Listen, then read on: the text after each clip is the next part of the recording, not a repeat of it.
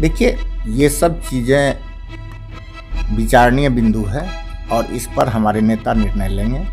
और निश्चित तौर से जिस तरह का परिप्रेक्ष्य चल रहा है, उस परिप्रेक्ष्य में यदि मुकेश सहनी जी बिना कंडीशन बात रखते हैं तो उस पर हमारे नेता विचार ज़रूर करें। नमस्कार, न्यूज़ फॉर नेशन देख रहे हैं आप। मैं हूँ आपके साथ धीरज सिंह। बोचहा विधानसभा सीट पर हो रहे उपचुनाव का परिणाम आने के बाद वीआईपी सुप्रीमो मुकेश सहनी दिल्ली पहुँचे हैं। चर्चा है कि दिल्ली में वो राजद सुप्रीमो और बिहार के पूर्व मुख्यमंत्री लालू प्रसाद यादव से मुलाकात कर सकते हैं।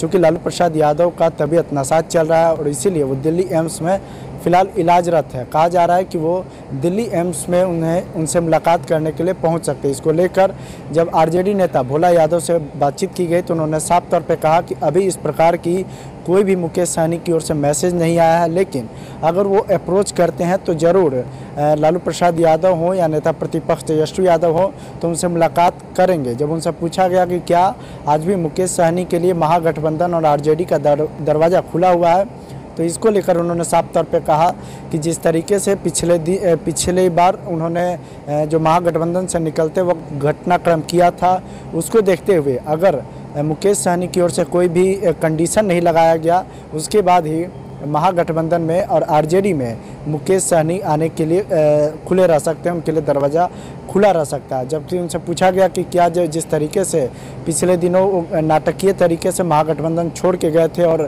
तेजस्वी यादव ने रिचार्ज कूपन तक उन्हें कह दिया था, इसको लेकर उन्होंने साफ़ तौर पर कहा कि अगर मुकेश सहनी बिना कंडीशन के महागठबंधन में आना चाहते हैं तो आज भी उनके लिए दरवाज़ा खुला हुआ है।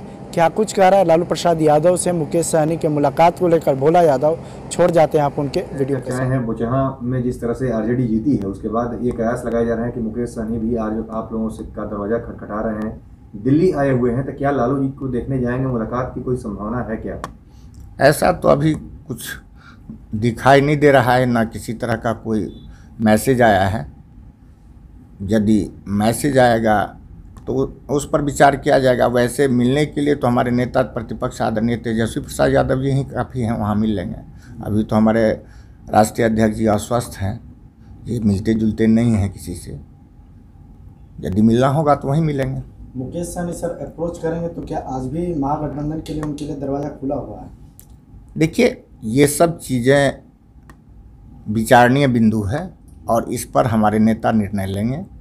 और निश्चित तौर से जिस तरह का परिप्रेक्ष्य चल रहा है उस परिप्रेक्ष्य में यदि मुकेश सहनी जी बिना कंडीशन बात रखते हैं तो उस पर हमारे नेता विचार ज़रूर करेंगे। आप लोगों ने एक टाइम में कहा था कि रिचार्ज कूपर है। तो एक बार आपके साथ रहे जिस तरह से मंच पर उन्होंने बोला फिर उधर गए फिर उधर से अब इधर फिर आ सकते हैं क्या? मैं वही वही वही बात बता बताना चाहता हूँ जो यदि उनका कोई कंडीशन न रहा तो।